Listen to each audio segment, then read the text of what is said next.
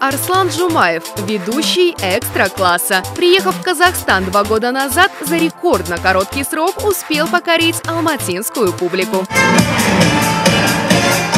Самбо! Хотел бы на всеобщие аплодисменты пригласить всех участников нашего шоу. Ваши аплодисменты, вот они,